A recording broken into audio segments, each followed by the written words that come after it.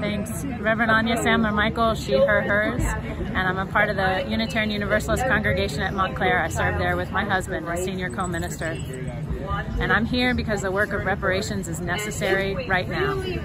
People with skin like me have been silent for far too long, and it's important that I join the struggle and be a part of the work. If you're not a part of the solution, you're a part of the problem. And the work for reparations is work for repair. It's work for repair of the entire state of New Jersey. It's work for repair of the entire United States. It's work for repair of our own souls, all of our own souls.